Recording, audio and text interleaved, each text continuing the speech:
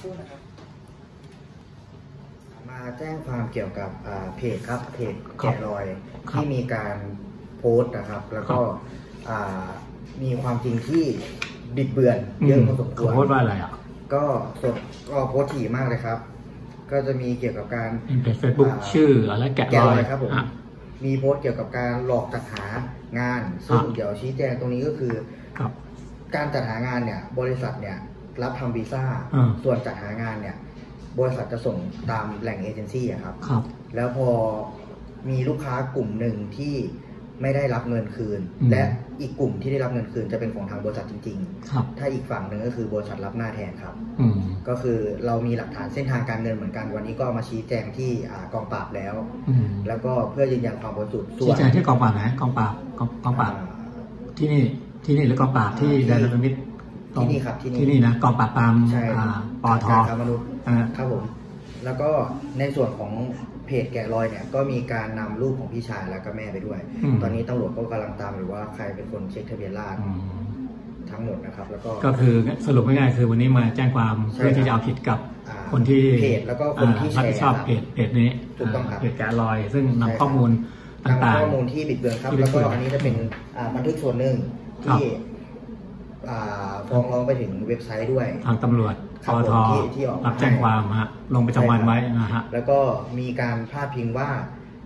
ผมเนี่ยมีหมายจับ ครับ มีคดีความอ่าหลายคดีเลย ซึ่งอืมก็ได้ทำการเช็คแล้วเรียบร้อยนะครับ ตอนนี้ก็คือไม่มีคดีใดทั้งสิ้นอืมคดีเกี่ยวกับการลงทุนจบไปตั้งแต่ 2 ปีก่อนนะครับครับสิ้นสุดคดีเพราะด้วยการขึ้นศาลเองอืมแล้วก็มีการเคลียร์เรียบร้อยแล้วอืมศาลตัดสินคดีแล้วครับ คือจบแล้วสิ้นสุดแล้วอืมครับแต่ก็ยังมีการแชร์การโพสต์อยู่ต่อเนื่อง เราก็เลยจะต้องมา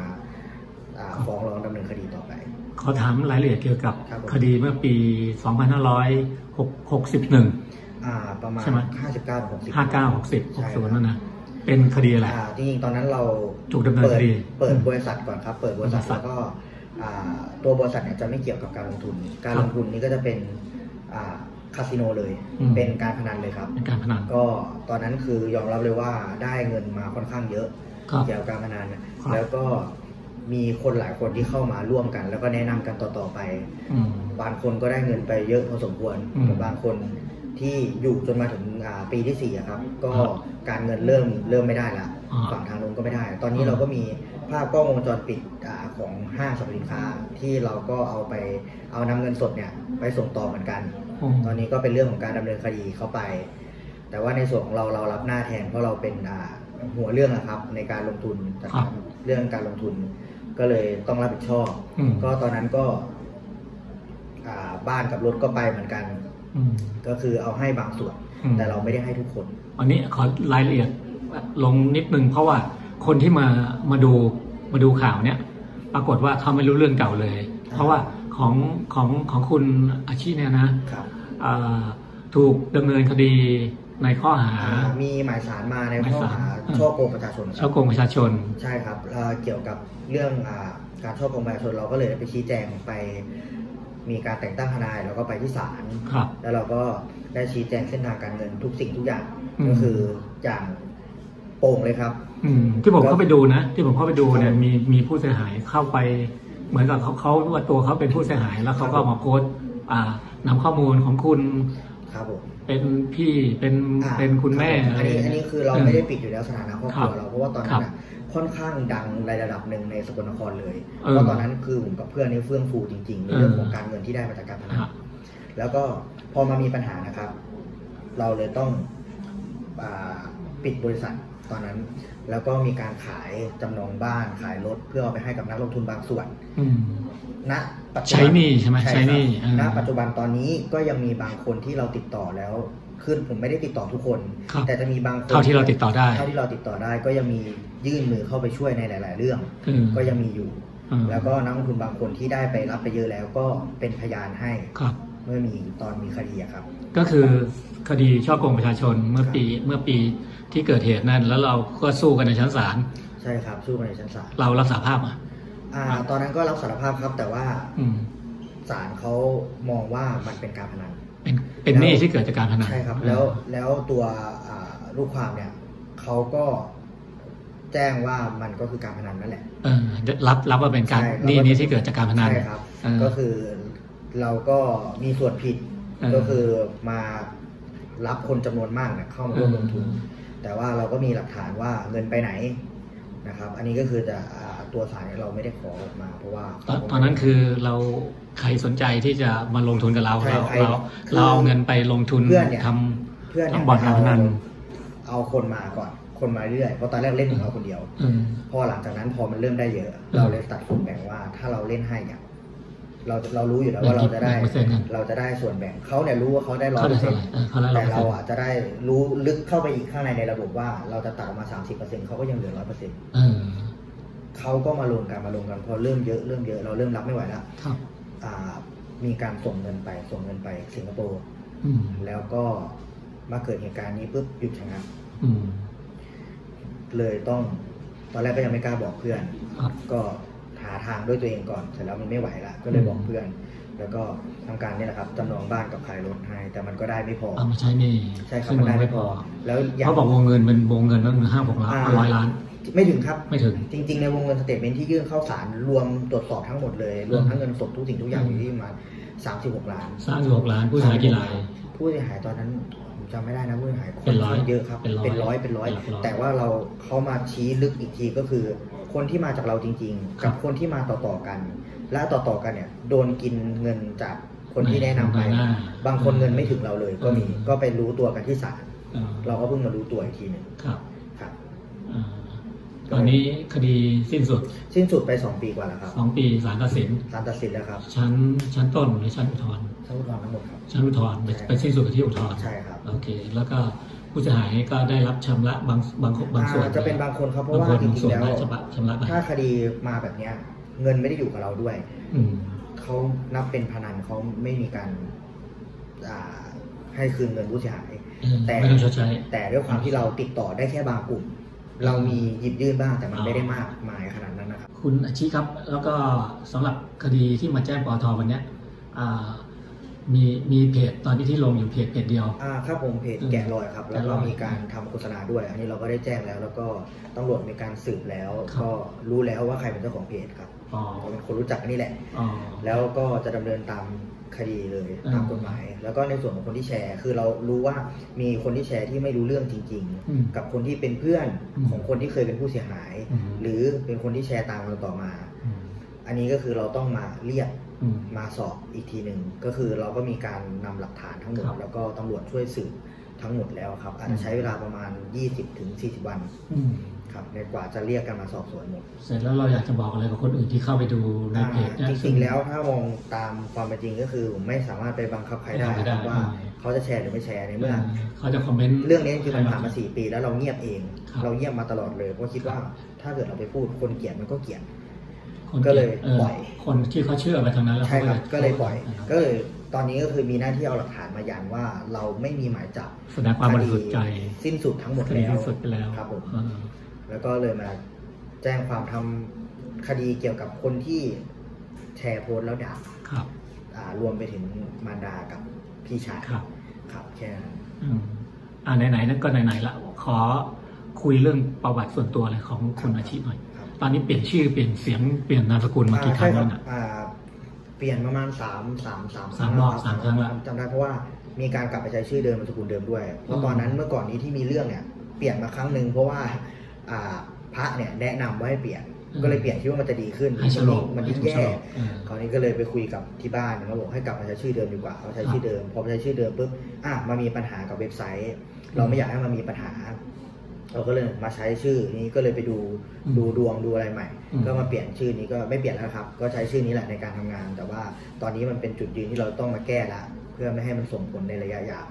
ล่าสุดใช้ชื่ออะไรนะอ่านัทพัฒน์อัครเดชชัยครับ นัทวัฒน์อัครเดชนัทพัชัฒน์ยครับนัทนันัททพัพัฒฒน์น์อัครเดชชัยเอ่อใช้คำนำหน้าว่าอะไรอ่า เป็นนางสาวครับเพเป็นราะนางว่าสาวผ่าตัดแปลงเพศมาครับใช่ครับ เออ เนี่ยตรงจุดนี้ อันนี้คือเปิดเผยได้ไหมเปิเล่าดเผยฟังได้หน่อยครับเปิดเผยอะได้งั้นบอกเล่าอันนี้คือผ่าตัดมาตั้งแต่ไล่ผ่ามาแต่อายุ17นะครับ ครับ17 18สิบเจ็ดนี่ก็ทำได้เหรอจริงๆทำไม่ได้คเขารับต้องให้ทำยี่สิบแต่ว่าต้องให้ผู้ปกครองยอมผู้ปรักครองนี้อ่ายินยอมเราก็ทำการผ่าตัดมาเรื่อยๆครับจากจากจากจาก เพศเราเป็นเป็นเพศกำเนิดคือเพศหญิงเพศหญิงอ่าครับ แล้วก็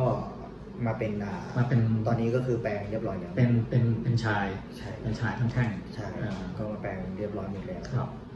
แล้วเห็นคอมเมนต์ไอ้ที่เขาแรงๆที่เขาบอกว่า คุณนำเงินที่ที่ได้มาจากคนนั้นเอาไปทำศัลยกรรมต่างถ้าๆนะถ้าเป็นเรื่องของศัลยกรรมเนี่ยผม บ้าศัลยกรรมมาตั้งแต่ตั้งแต่ตั้งแต่ยังไม่ทำวัยรุ่น ตั้งแต่ยังไม่ทำบริษัทเลยอ๋อนะครับ การตั้งแต่ทำก่อศันลยกรเข้ารรมวงแรการกอีกอย่างเนี่ยผมไม่ได้มีช่องทางโกงมาเพื่อจะทำศัลยกรรมอย่างเดียวผมมีงานเออมีการงานอย่างอื่นที่ต้องทครับำนะครับ แล้วก็เงินอะ เราไม่ได้ที่ที่ที่ที่มีคอมเมนต์ว่าเอาเงินไปซื้อรถเบนซ์อืมเคยมีรถเบนซ์ครับ ซื้อมาได้จากการพนันแต่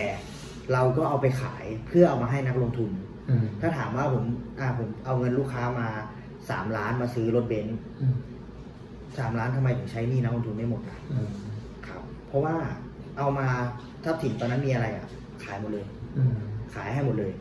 แต่มันก็ยังไม่พอครับส่วนคนที่รับเงินต่อจากเราไป เราก็ดำเนินแจ้งความจริงอืมๆแต่พอมันเงียบไปปุ๊บเราคิดว่ามันไม่ได้แล้วแล้วอย่างเรื่องเราก็เงียบแล้วด้วยอ๋อเราเลยปล่อย จนมาวันเนี้ยครับ เราก็เลยกลับมาลื้อทั้งหมดแล้วก็มาตามทั้งหมดเลย อืมก็อีกอีกอันหนึงที่ผมผมอ่านจากในข่าวย้อนหลังอะไรของเขาเนี่ยปรากฏว่าเขาบอกว่าคุณครอบครัวของคุณอะที่ไหนที่สกลที่ไหนจังหวัดสกลมีมีมีหนี้สินอยู่เป็นเป็นจำนวนมาก แล้วก็อ่า คุณมาทำให้จนปลดหนี้ได้จริงไหมอ่าอันนี้จริงครับ เพราะว่าเมื่อก่อนเนี่ยจะมีพ่อเลี้ยง แล้วพ อแกเสีย ที่บ้านก็ไม่มีเงินละไม่มีเงิน ไม่มีเงินจุนเจืออะไรแล้วพ่อเลี้ยงก็คือคุณแม่มีสามีใหม่หรือใช่ครับแม่มีสามีใหม่แล้วก็ เสร็จแล้วก็เลยกลายเป็นว่าเราก็ต้องมาหางานมีหนี้สินครับ มีหนี้สินเราก็จำนวนเป็นผสิมบก็ล้านเลยทำทำทุกอย่างนะครับเออทำทุกอย่างใช่ทำทุกอย่าง เพราะว่าพ่อพ่อคนแรกก็คือคือเสีย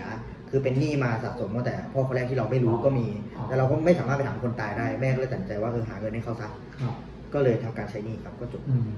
คุณทำยังไงถึงจะปลดหนี้ได้อ่า ก่อนหน้านี้เป็นหนี้สินมาจากตั้งแต่ยังไม่ทำบริษัทแล้วอ่าก็มีขายอ่าของทั่วไปครับซื้อมาขายไปเออ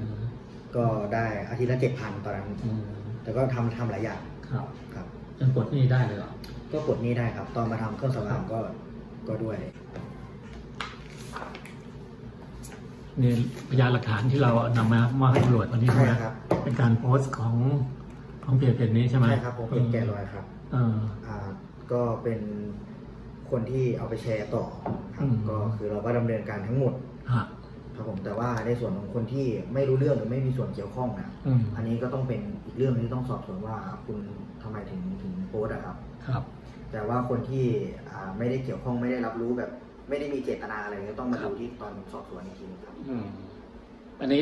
รูปมีนงมีหนวดแล้วนั่นคือคุณอาชีพเหรอเนี่ย ใช่ครับผมเอง เออ แล้วก็ในส่วนของเพจอ่าแกะรอยเนี่ยตอนนี้ครับ ตำรวจก็รู้แล้วว่าใครเป็นเจ้าของก็เออ จะส่งเรื่องหมายเรียกภายในเออ20ถึง40 วันนี้แหละครับเออ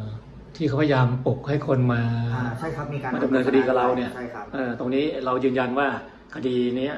ใช่ครับได้มีการขึ้นสู่ศาลแจ้งความที่กองปราบเออแล้วก็จะทำการสิ้นสุดในฟ้องชั้นศาลไปแล้วครับฟ้องส่วนบุคคลด้วยแล้วก็ตอนนี้ฟ้งตอนนี้เอ่อเราก็เราก็ถือว่าเป็นคนที่ได้ชดใช้ใช่ครับตรงนั้นเรียบร้อยหมดแล้วใช่เพราะฉะนั้นคือตรงนี้เราก็ตอนนี้ไม่มีอะไรติดตัวแล้วกลับมาทำมาหากินใช่ครับซึ่งเมื่อตอนต้นปีเนี้ย มันเราก็ได้ไปไปทำอะไรนะเกี่ยวกับทัวร์เกี่ยวกับอะไรนะ ใช่ครับท่องเที่ยวทัวร์ใช่ครับเออวีซ่าครับผมทำวีซ่าแล้วก็พอมาเกิดโควิดปุ๊บเราก็มีการคุยกับเจ้าของอ่าที่เช่าสถานที่อะครับว่าอะ อ่าได้มีการปิด 2 เดือน เออแล้วก็มีเอเจนซี่คนหนึ่งที่เขาเข้ามาจะทำเรื่องต่อ ครับ แต่เดือนล่าสุดเนี่ยก็ปิดเหมือนเขาเขาเขาสั่งปิดเองอะครับซึ่งอันนี้จะไม่เกี่ยวกับเราแล้ว ก็มีปัญหาใช่คือเขามีปัญหาทางด้านใช่ครับธุรกิจเขาก็ปิดเขา ใช่ครับ แต่ว่าแต่เอ่อลูกทัวร์ลูกคนที่มาติดต่อกับทางเรา ก็ยังมีมีมีอีกหลายคนมากที่ติดใจอ่าตอนนี้ก็ถ้าลูกค้าโดยผมโดยหลักเนี่ยจะทำแค่เฉพาะประเทศอังกฤษอืมพรุ่งนี้ก็พาลูกค้าไปสถานทูตเหมือนกันหกคนอืมครับล่าสุดตอนนี้ก็คือเรามาทำเกี่ยวกับเรื่องทำวีซ่าอ่าใช่ครับผมทำวีซ่า ทำวีซ่า ก็ดูแลลูกค้าที่เหลืออยู่ที่อ่าติดกับตัวเนี่ยก็หกคนพรุ่งนี้ก็ไปสถานทูตปกติ อ่ามีมีเอกสารยืนยันทั้งหมดครับว่าไม่ได้มีการหลอกลวงใดๆทั้งสิ้น แต่สำหรับคน ที่บริษัทที่เขารับมาก่อนหน้าเนี้ยแล้วเราเป็นบัญชีรับเงินอย่างเงี้ยเราก็ต้องไปตามกับเอเจนซี่อีกต่างหากเพราะว่าแต่ละประเทศเนี่ยคือเราจะแยกกันส่งนะครับอ่าเราก็มีหลักฐานของเราที่วันนี้ก็เอามาที่ชั้นตำรวจแล้วอ่าครับโอเคขอบคุณมากครับครับ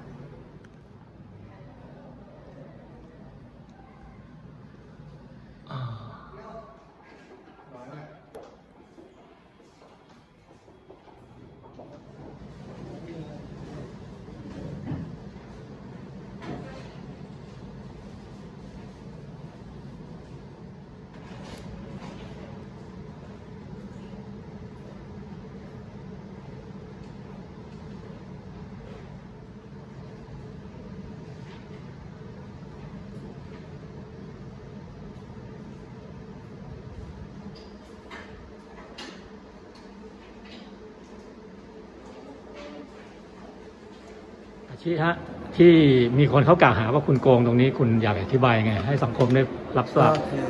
ในเรื่องของการเงินนะครับ อันนี้ผมผิดจริงอืม ๆที่อ่าชักชวนคนมาลงทุนเมื่อก่อนครับเนี่ยนะครับ ครับแต่ ลงทุนทำบ่อนนะนะ ใช่ครับอืมก็มีบางส่วนที่ได้รับเงินไปแล้ว และครับาบงส่วนที่ยังไม่ได้ ครับ อันนี้ก็อยู่ที่คำตัดสินของศาลนะครับ อืม ว่ามันเป็นพนันแต่ว่าที่กล่าวหาว่า โกงมาเนี่ยคือผมก็ไม่ไม่ไม่โทษเขาเพราะว่าเงินเขาเข้ามาเราจริง อืมแต่เราก็มีหลักฐานที่ไปชี้แจงที่ศาลแล้วว่า ครับ การเงินมันไปไหนอืมครับและเราก็ไม่ได้รับกลับมา เพราะว่าเราเองก็ขายรถกับขายบ้านเนี่ยคืนเข้าไปเหมือนกันครับ อืม ก็ก็ทำได้ดีเท่าที่สุดเท่าที่จะทำได้แล้วอืม ครับผม ได้ โอเค ขอบคุณมากครับค